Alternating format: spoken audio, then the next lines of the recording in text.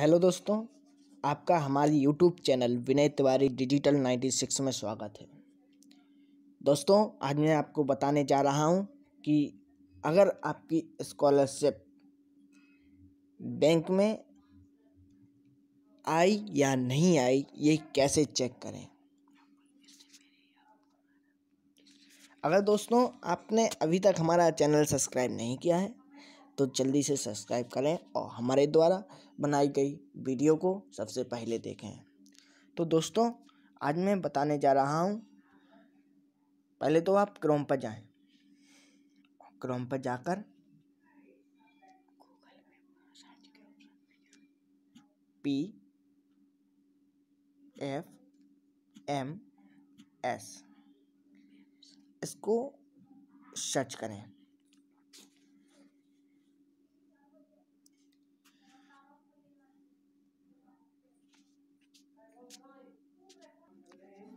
दोस्तों। इसके बाद अक्सर हर किसी के मोबाइल में ये प्रॉब्लम आती है। तो मैं कुछ नहीं, इसके बाद मैं इसमें एडवांस पे क्लिक करें और इस पर लिखा हुआ है processed to P S M S निक इन इसको हमने क्लिक किया। ठीक है दोस्तों?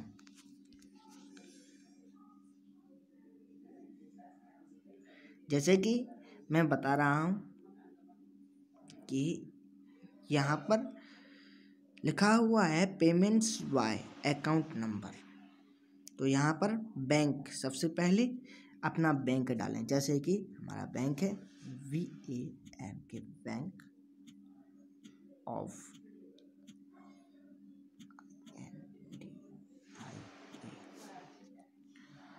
ये पहले नंबर पे आ गया।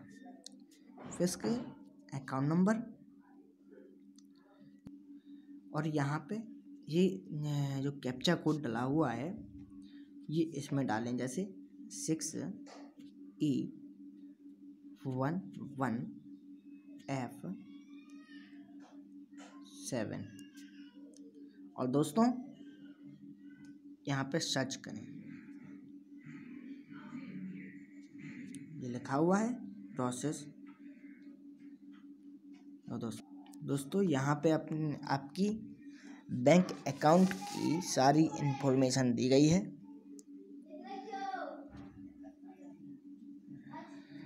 जैसे